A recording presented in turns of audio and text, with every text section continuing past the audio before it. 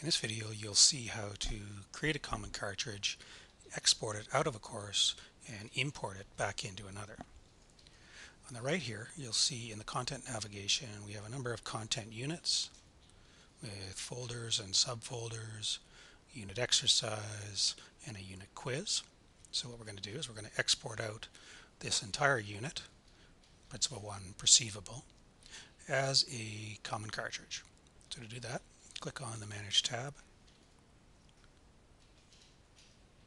up Import Export under Content.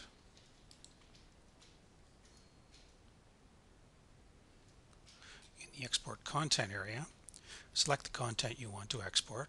So we'll scroll down a little, choose Principle 1 Perceivable.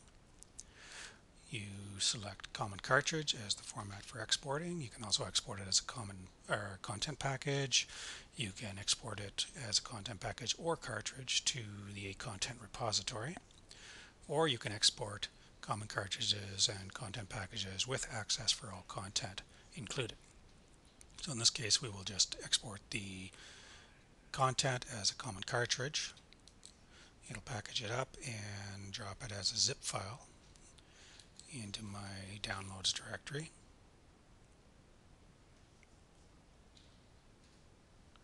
So now I can take that cartridge and I can go to the copy of the course I've created. So this is an empty shell for a course.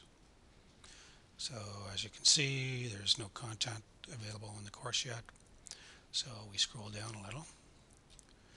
We find the package that we just exported or a cartridge rather that we just exported. We open it up and import that.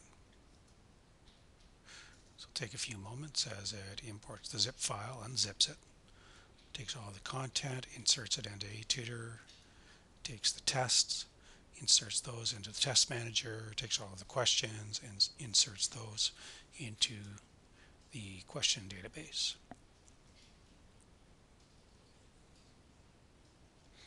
So there you go. All the content is now imported and shows up in the content navigation.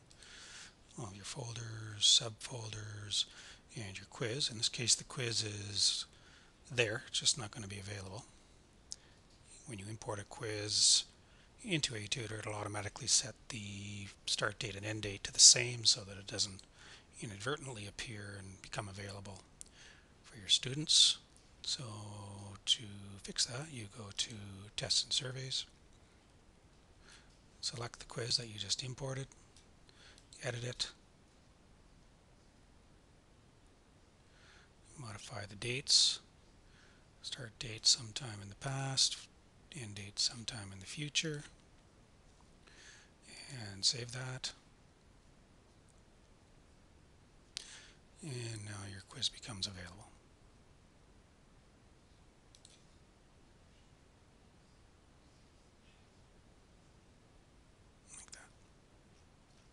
So now that the cartridge has been imported into another course, the author has the option to modify any of the content that was imported or rearrange the content, potentially export out subsections of the content.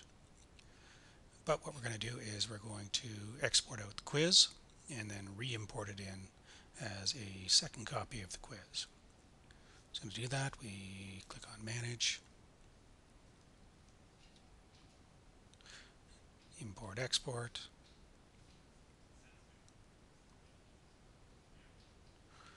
Select the quiz. Export format as a common cartridge. Export that out. Drops the zip file into my downloads directory. And I can scroll down find the file I just exported. Will be this one here. Open that and import that. Again, it'll take a few moments to upload the file, unzip it, put the tests in place in the test manager, take the questions, place those in the question database. And when it's done, it will have inserted a second copy of the test just below the first. Second copy uh, of the unit quiz. So now I can take a subsection of the content, in this case I'll take the ways to avoid creating barriers and export it out as a unit of its own. So I choose the content, ways to avoid creating barriers, select common cartridge, export it out, save the file to my downloads directory. Close that, and then I will import that back into the course as another unit.